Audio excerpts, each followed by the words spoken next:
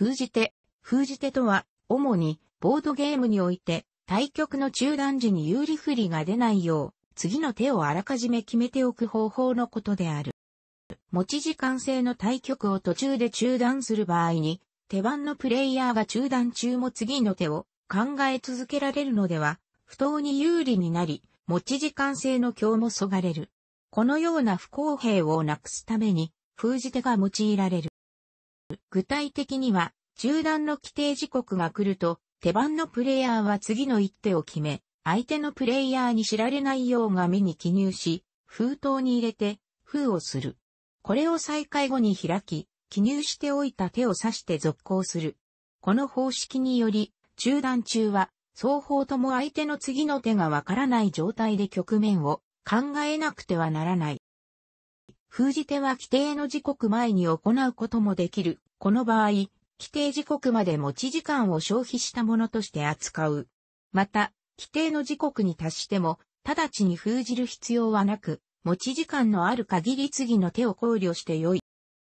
この方式は地図で始まったもので、19世紀にはすでに行われていた。将棋では1927年に放置新聞社の記者で当時東京将棋連盟の評議委員だった、イコマ久米蔵の発案により導入された。囲碁では1938年の本因坊、秀才引退後が最初である。現在公式に用いられているのは、将棋と囲碁だけであるが、手番と持ち時間が影響するようなゲーム、例えばカードゲームやウォーゲームなどならすべて利用できる。封じ手は、感染するアマチュアにクイズとして出され、検証の対象とされることも多い。封じ手には専用の用紙と封筒を用いる。将棋や囲碁の一部のタイトル戦では2日にわたって対局が行われ、中断、つまり差し掛け、将棋打ち掛け、囲碁にはすべてに封じ手が用いられる。例えば将棋の名人戦は、1日目の午後6時30分が規定時刻となる2008年第66期より、規定時刻は規制によって様々で、囲碁では午後5時半から6時といった形で幅を持たせる5時半持って番の騎士が希望すれば、封じ手が可能。6時を過ぎるとその時点で、鉄外の騎士が封じる規制もある。規定時刻になった時点で、立ち会い陣、囲碁の場合は、立ち会いは、次の一手が封じ手となることを知らせるが、規定時刻を過ぎても指し手を考慮することは認められている。持ち時間が残されている限り、どれだけ過ぎていても良い。ただあまりにも長考になる場合には、規制によっては、規定により夕食休憩を挟む場合もある。封じ手は次のような流れで行われる。将棋と囲碁とでは若干記入内容などが異なるが、ほぼ同様の手順で行われる。二日にわたらない対局でも、封じ手が用いられることがある。将棋日本シリーズでは、解説者の任意のタイミングで封じ手となり、対局が中断されて、両対局者は休憩に入る。テレビ東京で放送されていた、早指し将棋選手権でも、先手が41手目を封じる封じ手制が用いられていた。また、非公式戦の公開対局のファンサービスなどで、検証次の一手などで用いられる着手も封じ手と呼ばれるが、不公平さをなくすという意味は少なく、便宜上の呼び名にとどまる。将棋の場合、現在の体制になった当初である第二次大戦直後は、封じ手は符号で記入することになっていた。また、差し掛けの時刻になったところで振り駒を行い、どちらが封じ手を行うかを決定していた。現在は差し掛け時に鉄害を持つ者が封じ手を行うように変更されている。なお、封じ手の局面図は、記録係が記入することは先に述べた通りだが、規定時刻になってから記入していては、直後の意思表示となった場合に到底間に合わず、対局者を待たせてしまうことになる。故に記録係は規定時刻の少し前から、局面が動いても書き直しをせに済むように考慮しつつ、図面を書き始める。将棋の場合は、規定時間の20分ぐらい前からが多いという。これはかなり早めの作成着手ではあるが、こちらも先に述べたように図面が2枚必要で、あり得るのが大きいからで、労力を要する作業であるために、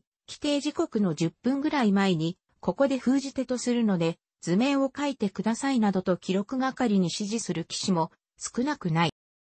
駒の移動を符号でなく、図上の矢印で示すことになった経緯は諸説ある。一般には誤記入を避けるためと言われているが、ほとんど非識字騎士であったとされる坂田三吉が汽船に登場した際、坂田に恥をかかせるわけにはいかず、当時の感染記者、菅谷北斗星が発案したという講談のような話も残っている。昼、夕の休憩時の差し掛けや打ち掛けでは、封じ手は行わない。これについては、休憩の時点で鉄害を持っている者が長時間考えられて有利となり、公平さを欠くという主張もあるが、プロの対局者間ではあまり問題視されていない。そもそも二日制の対局は、囲碁、将棋ともに年間に数えるほどであるが、昼、有休憩はほとんどすべての対局が該当し、これをすべて封じ手制にしていたら、とてつもない労力が必要になる。一般的に必然の一手を封じることは良くない。これは、非封じ手側がその必然の一手に対しての選択肢を深く考えることができてしまうからである。いくつか候補手が存在し、自分がどれを選んだか、相手側にはわからないような局面で封じるのが望ましい。逆に、相手にそうさせないように持ち時間を調節するのもテクニックの一つである。とはいえあまりにも自分の選択肢の広い場面で封じ手をするのも良くない。自分が選んだ手が良いか悪いかを延々と考える、羽目になるからである。地図では、コンピュータ解析の発達と持ち時間の短縮に伴い、封じ手は1990年代後半にほぼ全廃されたルール上は現存している。一方の囲碁や将棋においても、などの理由で封じ手の戦略について系統だった研究は発表されていない。主に、プレイヤーの好みや、その場の流れで選択することが多いようである。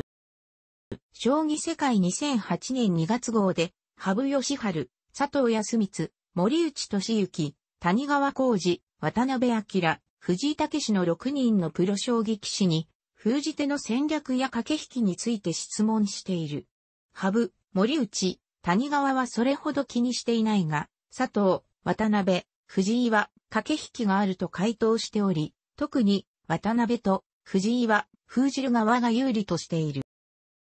囲碁においても封じ手を嫌う騎手はいる。悪手を打ったのではないか、用紙に書き間違えていないかなどが気になり、眠れない騎手もいるという。1963年の第2期名人戦、朝鮮手合第6局では、挑戦者、坂田坂尾が封じ手の帝国間際に着手。自分に封じ手をさせようという坂田の作戦に起こった藤沢秀幸名人がすかさず次の手を打つが、坂田も間髪入れずに着手、藤沢に封じ手を打たせた。この番外戦に動揺した藤沢は、この封じ手で悪手を打ってしまい、この後を落とした。次の第7局では、藤沢が帝国数秒前に打って、坂田に封じ手をさせることに成功したが、結局この後にも敗れ、名人を失う結果となった。光の語でも、対局者同士の封じ手をめぐる、心理戦のやりとりが描かれている。